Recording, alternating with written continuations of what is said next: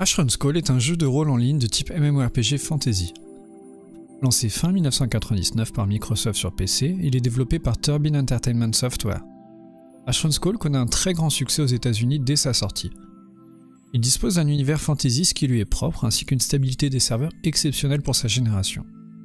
Les serveurs d'Ashron's Call sont capables d'accueillir en simultané 3500 joueurs sur un seul et unique serveur. Cette vidéo sort de l'ordinaire puisqu'il s'agira probablement d'une des rares vidéos dont je ne ferai pas de let's play durant son cours. Pour rendre hommage à ce pilier de l'industrie du MMORPG, j'ai la chance d'accueillir mon ami Paul Loris, joueur depuis la bêta d'Ashron's Call. La majorité des thèmes du jeu vont être abordés, une occasion d'offrir un peu de nostalgie aux anciens joueurs tout en faisant découvrir le jeu aux personnes n'ayant pas eu la chance d'y participer. Bon visionnage.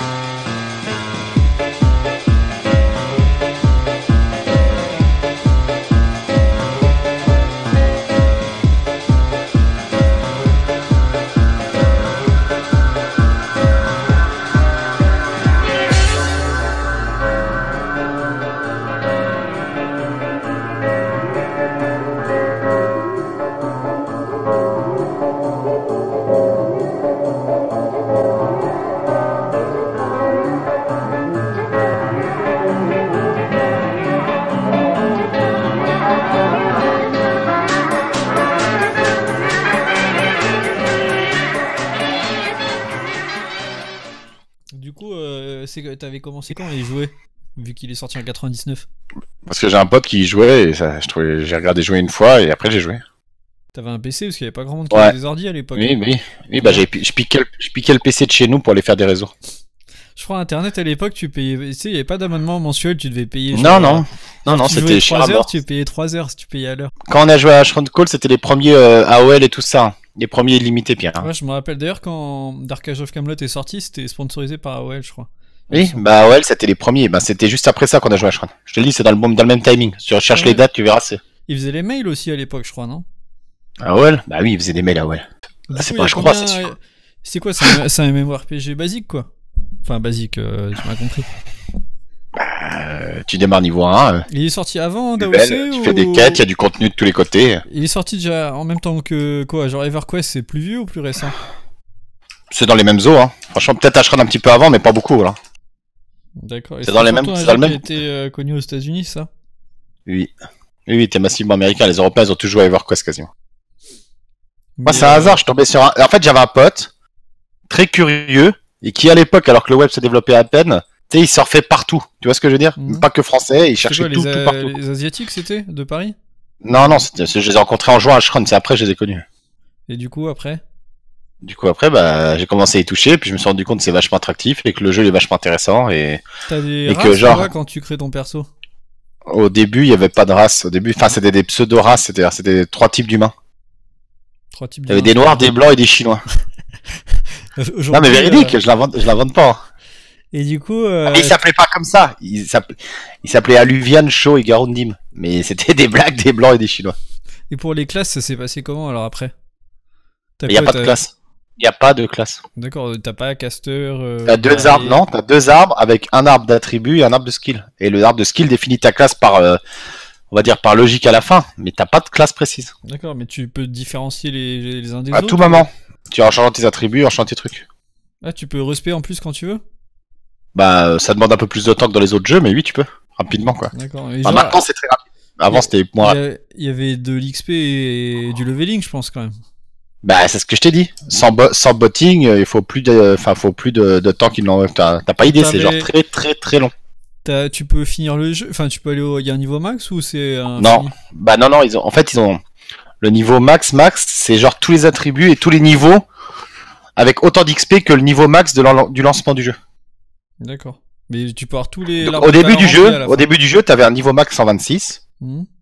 Et quand ils ont vu que tout le monde y arrivait, ils l'ont débridé tout de suite. Et après, c'est devenu infini. C'est devenu genre chaque skill, tu peux mettre l'équivalent d'un niveau 126 dedans. D'accord. Mais euh, tu peux avoir tout l'arbre de talent à la fin? Non, t'as des points d'attribut. euh, tu récupères euh, t'as des à la création et après tu récupères tous les. Au début tous les niveaux, après tous les deux, tous les cinq niveaux après.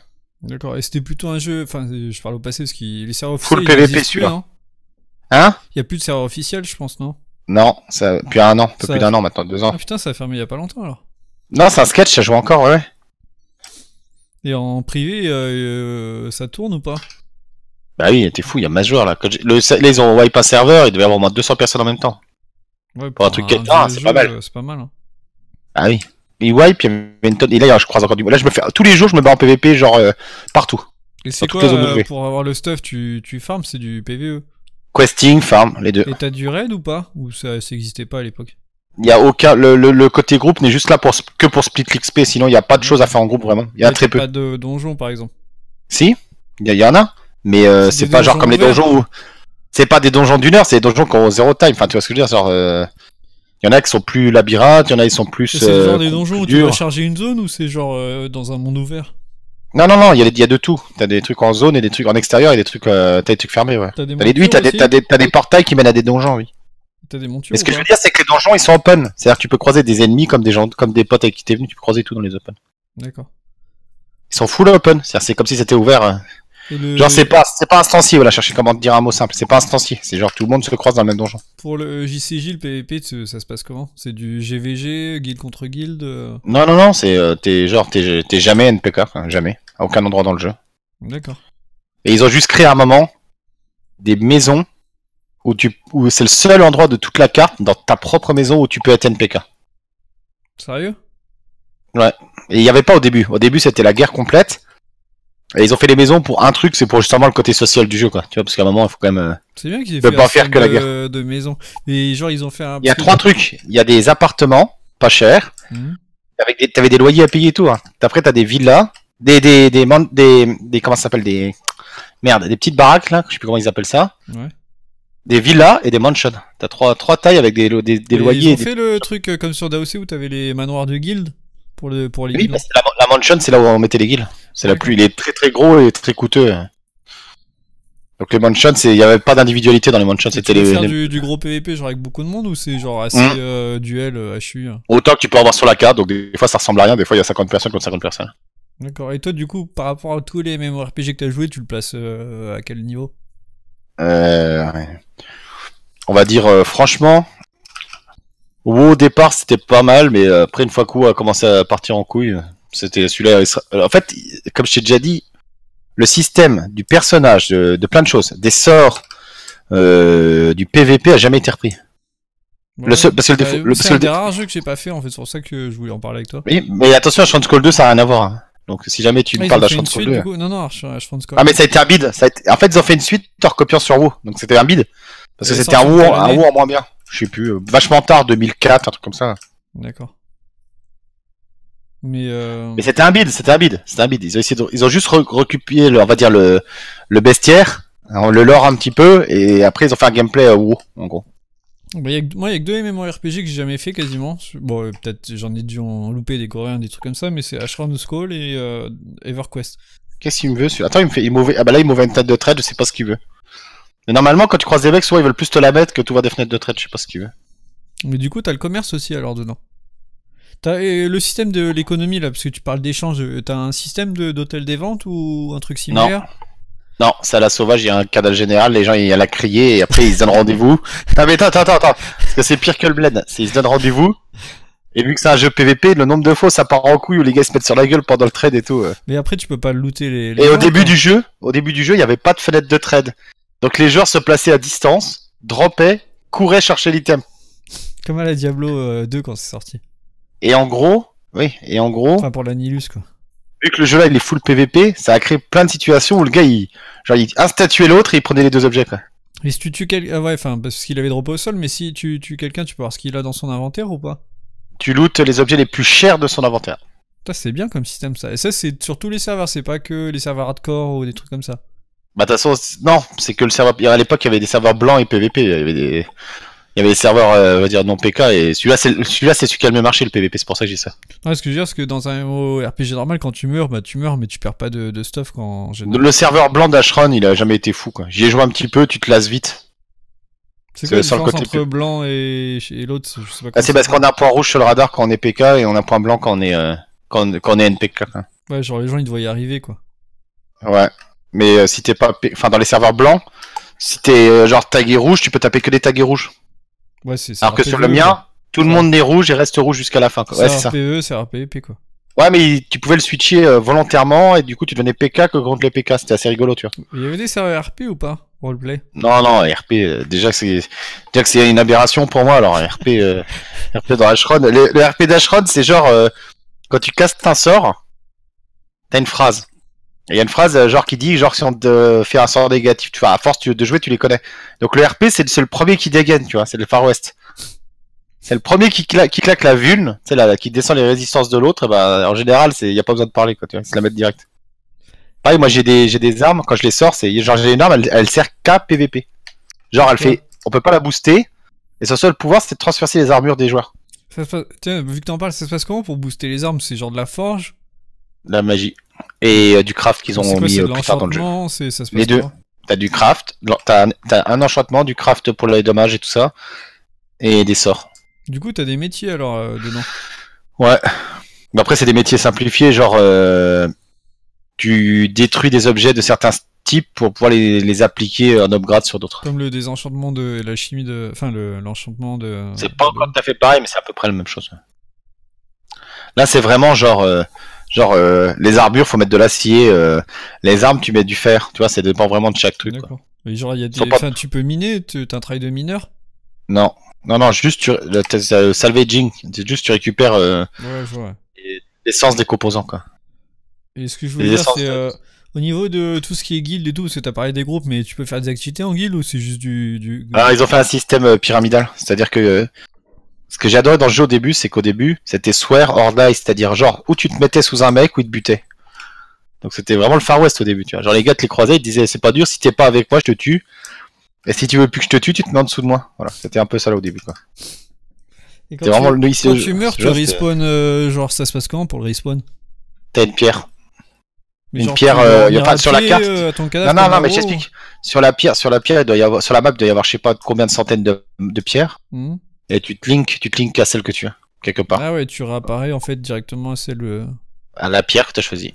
Et pour les transports rapides, ça se passe comment?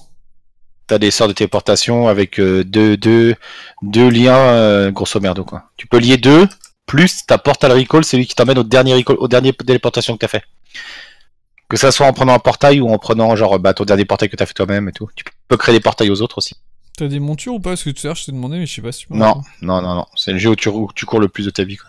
Y a pas de Et mentir. tu cours vite au moins T'as- Bah, t'as une skill pour ça, t'as run. Ouais, Ce qui mais est assez après, si tu intéressant parce que les- tu perds dans d'autres trucs quoi. C'est ça. Mais bon, après, euh, t'as un autre truc, c'est que genre t'as des attributs, et run c'est quickness, et genre les mages ils mettent pas de quickness, ça leur sert à rien, du coup ils run comme des chèvres. Et du coup, toi, quand t'es mêlé, tu dois aller vite ton contact, donc du coup t'as beaucoup de run. Et t'as beaucoup de défense. Avec euh, quickness, t'as la défense aussi. C'est quoi, si tu devais dire euh, les, les points positifs et les points négatifs du jeu Point négatif du jeu. Bah, à part les graphismes, hein, parce que forcément, au bout de 20 ans, Bah, chronophage, parce que t'as pas de fin. Donc tu peux passer des heures dessus. sans- En fait, tu peux avoir des heures à faire un- quelque chose, quoi. c'est un MMORPG, Non, mais c'est pire, c'est pire que, c'est pire que WoW. Je parle d'un niveau. euh, C'est vrai? Mm. Bah oui, parce que vu que pour XP, je t'ai dit que c'était ultra long. Genre, avant qu'il y ait les bots, par exemple, avant qu'il y ait les macros, on passait des heures à- farmer, quoi. Tu vois, c'était Il horrible. y, a quoi. eu des, euh, il y a eu des histoires comme EverQuest où il y en a ils se sont suicidés euh, parce qu'ils Non, jouaient- non, non. Parce qu'EverQuest, euh, à l'époque, quand c'est sorti, euh, ça avait fait du bruit, hein, parce qu'il y en a, ils s'étaient suicidés parce qu'ils jouaient trop. Non, non, il n'y pas, y a pas eu ça dans le C'était un peu la mode, c'était un peu la mode Alors. du c'est la faute des jeux vidéo, quoi, qui s'est lancé à l'époque, quoi. Ouais, il n'y a pas eu que pour ça, il y a eu pour le jeu de rôle, il y a eu pour tout, hein, t'inquiète pas. Ouais, jeu de rôle, j'en ai pas trop entendu, hein, après. Bah oui, parce que c'est pas ton époque, mais les jeux de rôle, il y en a eu aussi. Bon, bref, moi, faut Tu les mets faire. combien sur 20 Aujourd'hui, si je devais jouer? Ouais. Bah, tu joues Bon, déjà, là. sept- Non, mais je veux dire, bah, j'y joue parce qu'il est adéquat, parce qu'il est en fenêtré et que je peux faire des petits trucs sur le côté et tout ça. 7 parce que c'est pas le meilleur jeu qu'il doit y avoir Sur actuellement. 10 mais ou sur cool. 20 Sur 10. Et à l'époque, quand il est sorti? Ah, 9,5. Hein. Franchement, il y avait difficilement. Tous ceux qui ont touché, ils n'ont jamais arrêté d'y jouer. Tu, tu m'as, Pour à l'époque, tu t'aurais bien aimé voir RPG devant, genre DAOC EverQuest, ou tu le mets premier? Non, parce que j'ai tout essayé et c'était celui-là le mieux. En fait, le jeu-là il représente une chose qui a eu. Enfin, un effet français que tu que t'aimes bien. Devine lequel. Un effet français? Bah, je Ouais. sais pas. À l'époque, déjà, j'ai appris à connaître cet effet-là. Bah, c'est pourtant, t'es une, t'es une sacrée victime de cet effet-là. Si la masse ne connaît pas, Ouais. le jeu n'est pas mis en avant. Ouais, bah il a pas été mis en avant, moi je trouve. hein. Enfin, en Bah non, c'est ce que je te dis. Non, mais oui, c'est ça. Si la masse française ne connaît pas, il est pas mis en avant. il y a pas mal de jeux que genre qui, qui ont fait beaucoup de bruit ou moi j'en ai pas entendu parler. Genre euh, là dernièrement il y avait un jeu parce que je regardais tu sais les pour tout ce qui était euh, vente de valeur, enfin vente de, de quelque chose en virtuel dans le- la vie réelle. Et il y avait un jeu, c'était Empire Galactica, euh, un truc comme ça. Et dedans, genre, il y avait un, il avait acheté un, un astéroïde dans le jeu, genre à 600 000 dollars. Et, et ce jeu, genre, dedans, ils avaient acheté des trucs, genre des stations à 2 millions et tout. Enfin, ça avait des prix euh, faramineux, un peu comme dans. Comment ça s'appelle ce jeu euh, Second Life, Ouais, le Second jeu où la ouais, c'est ce que je cherchais. Ouais, ouais. bah ça je sais, mais Bah, je tu vois, ils avaient fait une économie dans ce jeu. Et ben en fait, ça a été exactement pareil, mais dans un univers un peu RPG. Non mais Second Life c'est devenu n'importe quoi, t'as des mecs qui payaient des fortunes pour des trucs dans le Second Life. Ou, ou pour se taper des moches. Oui oui, ou pour se faire de la merde, oui non mais je sais, c'était ridicule. Il y en a, ils avaient payaient des divorcé pour aller se mettre avec la meuf qui baisait dans De le Second jeu. Life, oui je sais, je sais, je sais, t'inquiète pas. Mais moche, tu veux une histoire là-dessus? Un de mes anciens patrons, il, il s'est tapé d'employé dans le jeu, Mhm. et du coup il s'est pris la tête avec sa meuf dans la vraie vie quoi. C'est vrai, ouais, mais après, c'est. Comment ça se passe quand il se tape la meuf dans le virtuel et qu'il la croise au bureau le lendemain? Bah la meuf elle, elle sait que c'est un jeu, mais pas lui. Donc lui il est, il est assez, euh, tu sais genre il est dans le mec, lui il sort pas du rôle. Il y a eu plein de problèmes avec Second Life. Hein. bah, Le mec qui sortait pas du jeu après. Hein. Enfin, euh, Second Life, euh, euh, quand c'est sorti, les gens ils en parlaient beaucoup, mais genre, t'avais l'impression que c'était pas un truc accessible. Genre, c'était. Bah moi, euh, je te promets qu'à mon boulot il y en a plein qui y jouaient là. Justement c'était. C'était un peu, euh, tu sais, le, le darknet du jeu vidéo, un peu. Mhm. Ah bah ça a vite tourné au glauque Second Life. T'allais hein. dans un truc vraiment, tu t'enfonçais dans un truc vraiment sombre. hein. Ouais, ça a vite tourné au glauque Second Life, a pas photo. hein. Et ouais, c'est pour ça que j'ai entendu parler de ce jeu là qui est Empire euh, Galactica. Je, crois- je suis pas sûr que ce soit ça, mais c'est un truc dans ce style-là. Et, euh, et voilà. Et il y a vraiment un- un éco- une économie qui se tourne autour, quoi. Et en parlant de ça, faut que je me fasse une nouvelle mule. Tu m'y fais penser là, je vais m'en faire une.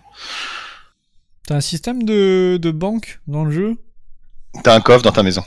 Ouais, mais il est grand ou vite fait Non, il est vite fait. C'est pour ça qu'il faut faire des mules, des mules à l'ancienne. ouais. Le jeu il est ultra prenant, je t'ai dit quand il est prenant, il est prenant une fois que t'es dedans. Ah, moi à l'époque quand je jouais, je joue beaucoup. Bon, bah, merci pour euh, cette interview euh, Skull. Hein. C'était sympa. Peut-être que ça a donné euh, envie à des gens d'y jouer. Hein. Tu joues sur quel serveur là? Hein Mais il y en a qu'un. Je sur. euh, Enfin, il y en a qu'un. Il y en a que deux. Ils ont fait un, un non PK et un PK. Et Le tien, c'est le- lequel? Ça s'appelle- Ils ont appelé ça High Tide parce que l'ancien PK s'appelait Dark Tide. Ok, bah je mettrai un lien euh, dans ma vidéo euh, du serveur. Ouais, bah tu sais, il faut Parce qu'il- surtout mettre le lien. le- C'est dans le Discord, il y a tout. Dans le Discord du, euh, du serveur, il y a tout. Ouais, je mettrai le lien du Discord, comme ça, s'il y a des gens qui veulent jouer, ils, ils iront. Parce que Bah oui, c'est c'est- je c'est pense celui que ça que tu doit parles du truc. intéresser c'est- pas mal de monde. Bon, après, euh, c'est super dur hein, à démarrer si t'as personne qui t'explique. hein. Vraiment, hein. genre Ah, je te bah, lâche après, juste le- les coordonnées, tu galères, hein, puis je te Le le dis. hein. principe du Discord, c'est euh, que les gens ils s'entraident et que. euh, y a une Ouais, mais je te le dis, hein. si genre tu, tu, démarres, tu démarres ça, t'es la pupute, je te le dis. Hein. Bah, ça dépend euh, de l'expérience de la personne, quoi. Genre s'il a jamais rien joué avant. ou Non, mais non, mais tu, tu te rends pas compte, c'est vraiment, vraiment très dur. Genre, tu as un tutoriel de base et, tu galérais avec quand même, tu vois, dans le jeu. D'accord. Bah, ça donne envie, hein. Oui, bah, moi j'aime bien quand c'est difficile, excuse-nous. hein. C'est mieux là. Le 31 janvier 2017, les serveurs d'Ashram Skull se sont fermés définitivement. C'est d'ailleurs une des raisons qui me donne envie de faire cette vidéo. C'est en partie euh, pour l'impact que Ashram Skull a eu sur, sur les joueurs. Rappelons-le, le, jeu est resté quand même 17 ans en ligne. Euh, 17 ans pour un MMORPG quand même c'est beaucoup d'investissement. C'est vraiment très long. C'est pas comme, tu vois, League of Legends, si demain ça venait à s'arrêter, ça emmerderait des gens, c'est sûr, mais pff, c'est comme Fortnite. C'est pas un investissement que tu fais tous les jours. Là, quand tu joues à MMORPG, tu as une évolution, tu as une courbe de progression dans le jeu, tu as un équipement. C'est c'est vraiment beaucoup, beaucoup d'investissement. Du jour au lendemain, euh, pouf, tout ça disparaît en fait. Enfin, on retire l'accès du jeu, on supprime toute ta progression, ton équipement. Je te laisse imaginer l'impact que, la fermeture des serveurs ont eu sur les gens qui jouaient depuis genre plus de 15 ans, tu vois. Parce que c'est quand même une partie de, leur vie en fait qui s'en va. Du coup, euh, bien que plus disponible, vous pouvez néanmoins encore jouer sur des serveurs privés gratuits, comme euh, en a parlé. Je vais vous mettre un lien de son serveur euh, dans la description. Comme ça, si vous avez des questions, vous pouvez aller sur Discord, il y sera sûrement, vous pouvez demander à un admin. Euh, le jeu est entièrement gratuit, donc il n'y a pas de souci là-dessus. Je vais vous laisser donc sur, euh, un témoignage de joueurs assez émouvant à propos de, la fermeture, que j'ai sous-titré parce que c'est une version originale que j'ai pris. En espérant sortir au moins une vidéo par semaine, voire 10 jours, on va dire, parce que des fois c'est quand même long, genre cette vidéo là m'a pris quand même pas mal de temps. Déjà j'ai eu pas mal de soucis parce que J'ai supprimé euh, un dossier, euh, c'est la première fois que ça m'arrive en 30 ans, j'ai supprimé un dossier qui faisait 60 Go, genre par erreur, je voulais supprimer un fichier et j'ai supprimé le dossier entièrement. Du coup j'ai dû essayer de faire une récupération de données avec des backups, des trucs comme ça, et ça n'a pas vraiment très bien marché, j'ai dû récupérer un huitième des, fichiers. Du coup, euh, cette vidéo m'a pris vraiment beaucoup de temps, donc c'est pour ça... Et puis j'ai pas, surtout pas l'habitude de faire des vidéos, hein, on va être honnête. Je pense que pour la vidéo que j'ai fait, quelqu'un il l'aurait fait en une journée, moi ça m'a pris 4 jours. Il y aura vraiment de tout, il y aura des jeux PC comme des jeux consoles, du rétro gaming d'anciennes consoles, ça sera vraiment varié, ça sera, il y aura du Magic, euh, il y aura vraiment vraiment tout. Le but de la chaîne étant de proposer un contenu sérieux, mais quand même avec des moments fun, sans entrer dans... Je trouve ce qu'on voit trop en ce moment sur YouTube, c'est des rires forcés, c'est trop surjoué. Je trouve que les vidéos à l'heure d'aujourd'hui, quand tu ouvres la tendance, c'est vraiment surjoué, c'est... Je suis pas là pour dénigrer, mais mon but sera vraiment de faire quelque chose qui me plaira à moi avant de plaire aux autres. Donc euh, merci encore, j'espère que la vidéo t'a plu et cliquez sur la... Je sais pas où elle est, elle doit être par là. Ça aiderait quand même pas mal au développement de la chaîne. Voilà, merci encore et à très vite.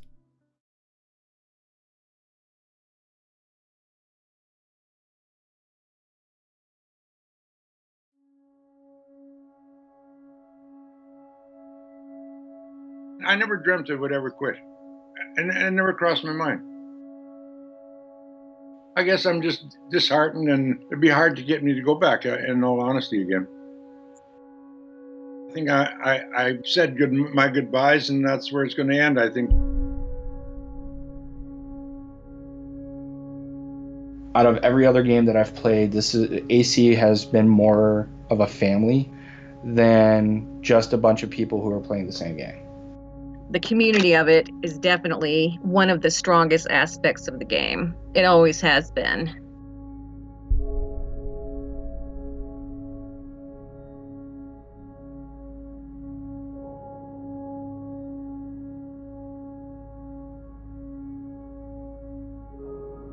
It was my time to get to uh, get away from problems as well as uh, just do my thing with with friends.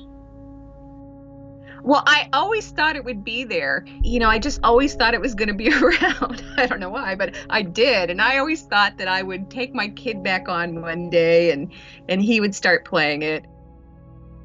The day that Warner Brothers announced that Asheron's Call was closing, I was at work. I got a message from one of my friends on Facebook. He sent me a link to the uh, to the announcement and I started crying nobody was complaining about paying. We were just glad to have a game. And when they canceled the payments, uh, nobody caught on what was going to happen next. I, I yeah, we're, we're all disappointed. The game has been has been there for me in some of my greatest achievements and some of my hardest times, and to finally come to a realization that you know this game might not be there for me was really hard to take. I, have had a couple friends that have since passed away that um, yeah that I was really close to, and you know I met them through Asheron's Call. Turbine, they were really good about including players that had made their mark in some way on the world into the game. My old vassal who passed away, they made an NPC uh, in Zykel, Ned the Clever, and uh, honored him that way. So it, there's just a lot of little special details in the game. Where this uh, uh, gentleman that we had from Texas, one day we went into Eastham and uh, we were he was explaining us on Skype what what the next move is, and all of a sudden his dog started barking, and the reason why is that he passed away with a stroke, and and as a whole group to to show you how we were linked and tied together, and we all uh, we all had a memorial for him on the game. It was so touching. I'm positive that people would even be crying after watching it. It's more than just playing the game. It's, you know, it's something that's been a part of your life for a long time. And with the day in closing, it was like closing a book on a chapter of your life that you weren't ready to close.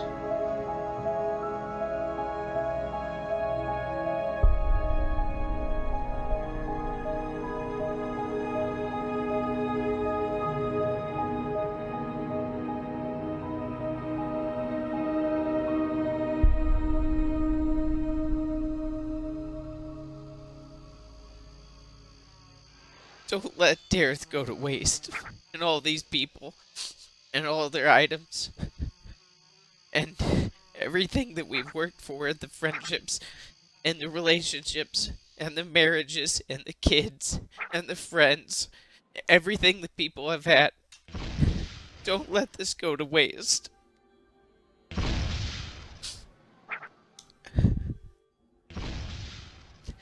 Thank you, everyone.